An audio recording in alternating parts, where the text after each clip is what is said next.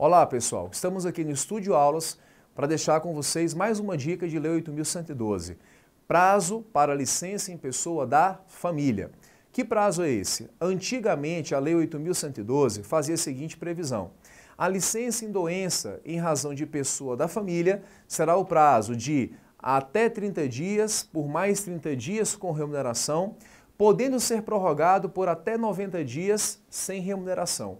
Era um prazo muito confuso, estabelecido na lei, só que a Lei 8.112 foi alterada. E como que é a redação hoje? A lei diz assim, a licença para tratar de doença em pessoa da família terá o prazo de até 60 dias consecutivos ou não, com remuneração, podendo ser prorrogada por mais 90 dias, consecutivos ou não, só que dessa vez sem a remuneração. Então se liga nisso porque está sendo muito cobrado em prova de concurso. Até o próximo encontro.